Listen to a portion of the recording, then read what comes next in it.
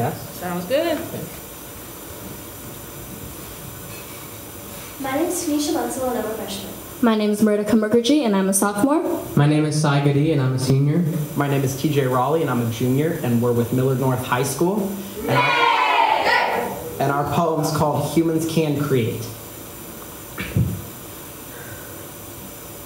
Madness is the fire within, Fire. Fireflies. are not special anymore.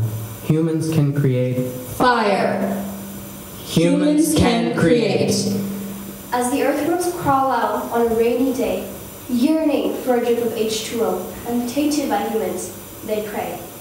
The water they find, MIA. And as birds chirp their sweet song to dance the day away, we observe up high, as cumulus clouds and solar rays in symbiotic harmony join to form a magnificent wave. When thunderstorm and lightning are met with ping pong day, whether rain, wind, or shine, we function the same way. When forces of na- nature leave not a dent, the line between man and world is bent. humans can create art.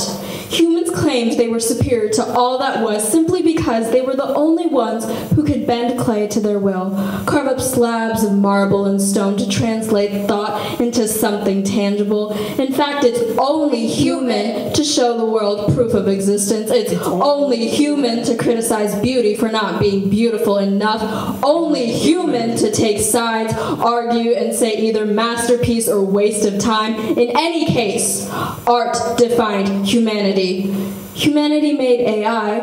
If AI can make art without us, what are we? Humans can create. War begins as death does with Violence. The curse of knowledge. Knowing rocks craft fire and blunt force trauma, we made weapons with the bones of the dead, the remnants of war with the remains of Life, And death. curiosity, And discovery. the only perpetual motion machines, connecting distant shore to distant shore through chains and chattel slavery. But let us not talk about those the sextants, the astrolabes, the telescopes, lateen sails, compasses, buoyancy, the years and years of astronomy, engineering, pillage, plunder, and murder of human desires. After all, we are only human. Only a breaker of things. This identifies us. But when we create, we break. Schools. hospitals, Factories, Hearts. The future is built on destruction. Our future is creating a corrosive concept of corruption. To keep it formal, sir, madam, monster under my bed. You frighten me more than my best friend who, got a, who brought a gun to school one day. Why? Because you raised them. They are you. They are the future. They are a cruel grasp on reality, embraced by an alcoholic father that's about to give them the gun they used to shoot up the school. You know who made that gun? You. But you are only human. They are only human. His father. her teacher, their brother. We are only human after all. So no biggie, right? I can create. I can create. I can create. I can create. What will you create?